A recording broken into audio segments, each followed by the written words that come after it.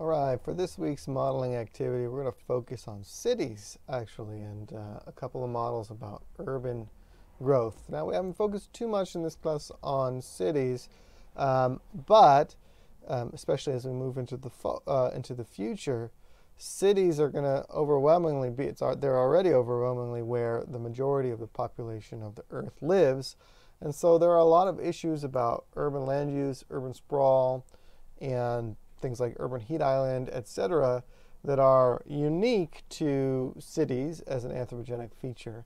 And modeling can help us understand some of that stuff. So I have here NetLogo 611 uh, open. The first model that we're going to play with actually comes packaged with NetLogo as an example model. So if we go to the File menu and we go to the Models library, we can see a whole bunch of models that are actually packaged with NetLogo. Now there's a lot of models in here and feel free by all means to play around with as many of these as you want. You can see they sort of got them organized by sort of by discipline or application area.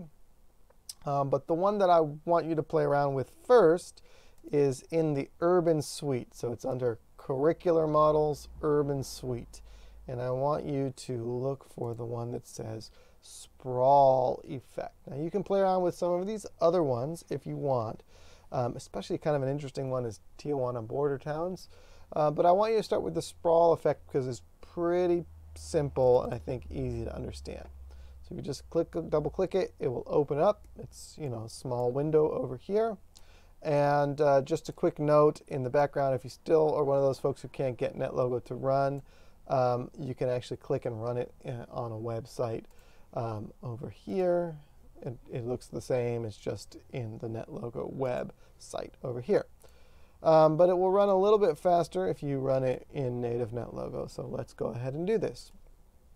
Again, the info are all here, um, and it gives, you know, you want to read through all of this stuff to see exactly how this works. But basically, the deal is you hit setup, you get this sort of landscape. There are cells that are a little bit more attractive for, you know, expansion of the city or, you know, for people building a suburb or something like that.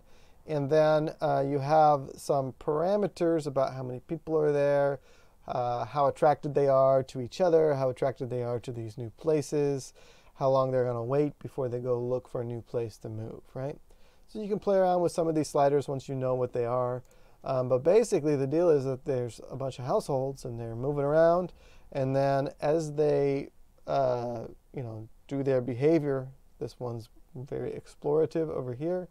Um, they're making new neighborhoods, and you can basically see the percentage of the land that's given over to being urbanized, right? And so this model, depending on people's you know desire to live off by themselves or to live next to other people to live to people who are like them or not um, and their frequency with which they look to move can help uh, us understand how cities grow and how they sprawl out to become these sort of megalopolises between um, different areas.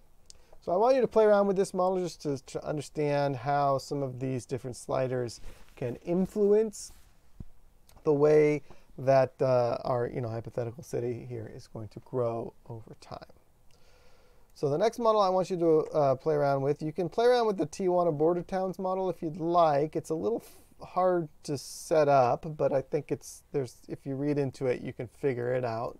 Um, but I particularly want you to uh, play around with this uh, urban sandbox model because it is um, it's interactive, which is really really cool. So let me just find where I have here city sandbox and you can get to the NetLogo uh, file and then it will open up. So this is pretty cool because it has different kinds of urban land use, residential, commercial, industrial, tourism, residential, commercial, commercial, industrial, these are bi-zoned areas, and equipment. And the cool thing is that you can start off on just a blank canvas or you can start off on a similar kind of landscape where um, if I hit set up here, you can see there's the black areas are, are attractive or at least places where you can build and the green areas are less attractive or places where it's not easy to build. The cool thing is that you can just set the percentages of the different kinds of land use. So you can even look up a city, for example, and see how it's zoned and essentially put in the same percentages here. And then you can just let it do its thing. It'll sort of start off kind of randomly. And you'll start to see little agglomerations here or there, the yellow being residential. So if I let it go for, I don't know, 200 ticks or so, and I start to see where the agglomerations of um, you know, habitations are, and I can pause it. Now I can draw on it. I can draw in roads, for example, um, to connect some of these centers of population. And there's one over here that's sort of lagging behind. And what we're going to do is connect these all with some roads. We're going to let a couple of them be without roads. And then we can continue the simulation and start to see how the pattern is influenced by the construction of this new highway. And you might see this development is now going to hug along the road, and some of these areas are going to have less, um, you know, less development because the road has sort of left them behind. Um, you can also um, pick brushes for the different kinds of land use. So, for example, you want to start off and say, this is uh, um, uh, urban core right over here, highly commercial district, like so. And then uncheck that. And then it has like a ring of um, suburban stuff all around it. And then over here is uh, the industrial area with mixed residential. So you see I have both of those two things checked over here. And what we're going to do is just hit the grow button and we'll just start to see how our initial sort of urban plan kind of looks. And if you're kind of clever with this, you can find maps of, you know, your city. you can kind of draw them in there if you want to get into it.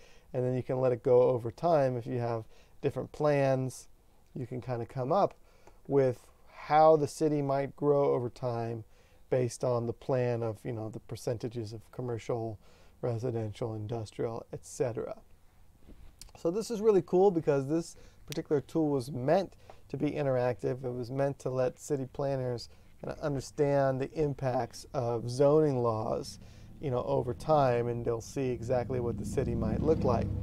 And you can really, what's really cool about it is you can always pause it and let's say you want to connect across this barrier. Let's say this is a mountain can draw a road that comes right up and across and then connects through this way and another road that kind of comes in like so and goes off that way. And then you can continue and say okay they built their highway system. How does that affect you know the outcome? And i'd like you to play around with some of these things and then come up with a, just a brief experiment maybe drawing the same kind of initial start patterns and then putting a road or not putting a road and seeing how it kind of changes the um, growth patterns of the city. So that's basically all I wanted to do with this intro video is to just uh, sort of show you um, how to run some of these models and give you some ideas for the experiments. I don't need anything formal this time. I think this is more just a, an experience of playing around with uh, you know cities in the simulation realm and trying to get a sense of how simulation modeling can help us understand urban context as well as the other things that we've been studying like farming and pastoralism and fire and erosion.